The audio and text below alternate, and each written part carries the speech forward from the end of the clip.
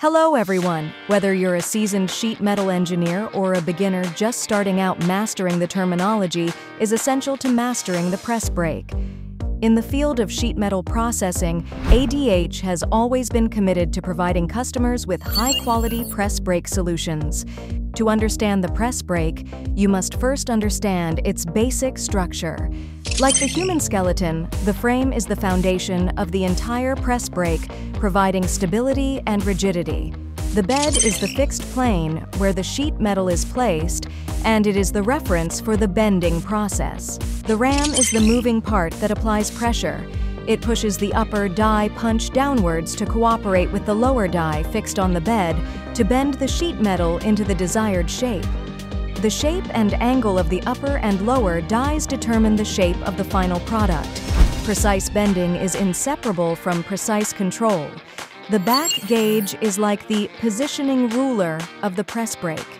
It is controlled by the CNC system to ensure that the sheet metal is in the precise position every time it is bent. The x-axis controls the back gauge to move left and right, determining the flange length. The y-axis controls the up and down movement of the ram.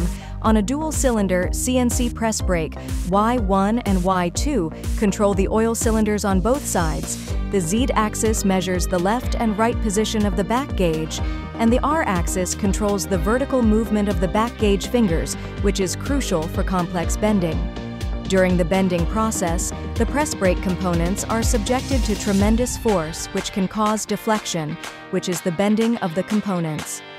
To solve this problem, modern press brakes are usually equipped with a deflection compensation system. In addition, because metal stretches when bent, we also need to consider the bend allowance and bend deduction to ensure the dimensional accuracy of the final product. Bottom dead center refers to the lowest point reached by the ram during the bending process. When operating a press brake, safety is paramount. The pinch point is the area between the upper and lower dies where the metal is bent, be sure to keep your hands and fingers away from this dangerous area. Tonnage indicates the maximum force exerted by the press brake, which is closely related to the tensile strength, thickness, and bend radius of the material. The throat is the depth of the press brake, which limits the maximum flange length you can bend. By mastering these terms, you can better understand the working principle of the press brake and perform more precise and safe operations. Want to learn more about press brakes or consult detailed information about ADH press brakes, please visit our official website or leave a message in the comment area. Thank you for watching and see you next time.